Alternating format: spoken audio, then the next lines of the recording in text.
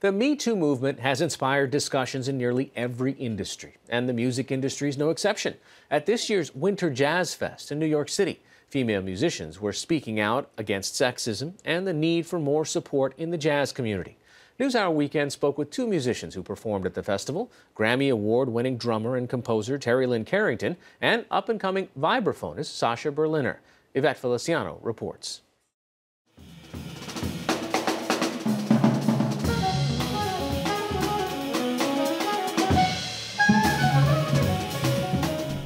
Composer and drummer Terri Lyne Carrington is a three time Grammy Award winner. Perhaps the most prominent female drummer in jazz, Carrington was a child prodigy. I started playing the drums at seven, but at 10 I got my union card and, and started working. Uh, my dad was a saxophone player and a drummer, um, and my grandfather was a drummer. So I had music running through my blood. After four decades in the music business, Carrington gives credit not only to her family, but also her mentors, who are living legends drummer Jack DeJohnette, saxophonist Wayne Shorter, and pianist Herbie Hancock.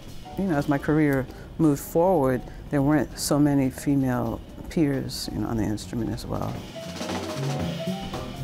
So I just felt like uh, I was, you know, in a bit of a boys' club, but I felt like somebody they let into the club, you know, somebody that was an exception. And then I started, you know, realizing, wow, this needs to change. You know, there should be more women that feel ownership in the music.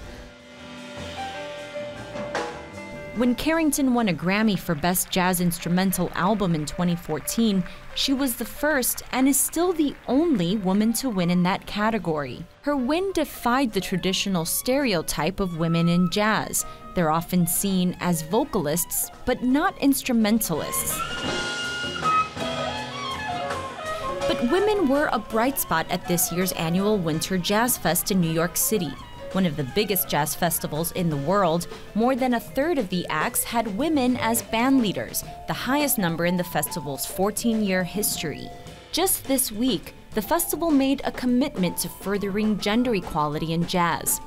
It became one of 45 international music festivals that signed on to a European music industry initiative, pledging to implement a 50 50 gender balance in its lineup and conference panels by 2022. It's called Keychange. At Winter Jazz Fest, Terri Lyne Carrington was joined by another Grammy Award winning artist and longtime collaborator, the bassist and vocalist Esperanza Spalding. Good afternoon and welcome. They also took part in a panel on jazz and gender.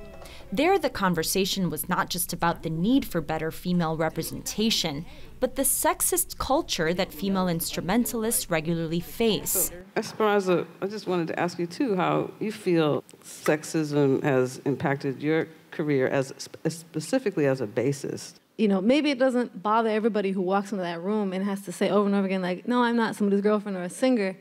Like, I'm here to play.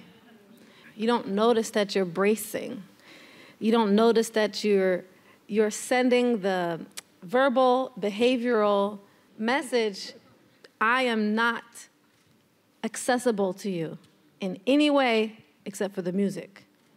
You can't touch me. You can't kiss me. I don't like you. Don't get near me energetically because it's not that game. And believe it or not, that takes a lot of energy to maintain all the time. So, for the first time, being in a group with all women, I personally know I accessed aspects of my musicianship that I never got to because I was always in a battle. And you know, you're not free if you're in defense mode, you're in survival mode. And the music needs more than survival energy.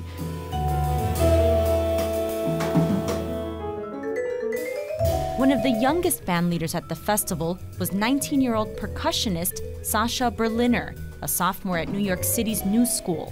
In her newly assembled quintet, she plays the vibraphone. There's just nothing else that sounds like it, and um, I like that it can be melodic and also harmonic and also percussive. While in high school, Berliner started playing professional gigs in San Francisco and often found herself the only woman performing at a show. It was a bit uncomfortable at first because not only was I the only woman, but I was by far the youngest person there.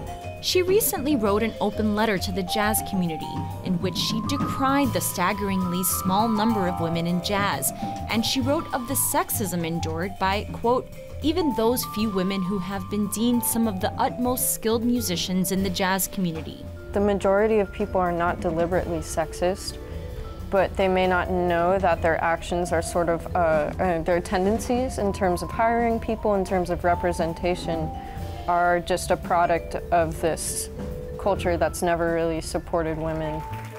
She wrote of male players and teachers who she believed held low expectations of her because she was a woman and made sexist comments about female players. Berliner also described a history of sexual harassment by an older would be mentor.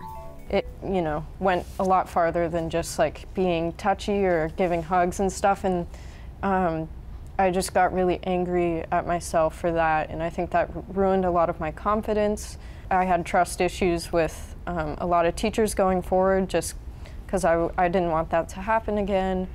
Terri Lyne Carrington. For Terri Lyne Carrington, one way to help end sexism in jazz is to involve more women, including recruiting more female teachers at music schools. As a professor at the Berklee College of Music for over a decade, she sees the positive effect of being a female role model for her male students. So that's why I love teaching because I really feel like I can make a difference in somebody's life. And often it's a young man's life. In the meantime, both Carrington and Berliner have signed an open letter started by a group of female jazz musicians inspired by the Me Too movement, declaring in part, We will not be silent. We have voice. We have zero tolerance for sexual harassment. The letter calls on institutions and the music community to take on a greater role in creating a safe and equitable environment for not just women, but people of all different backgrounds. The letter has more than 800 signatures.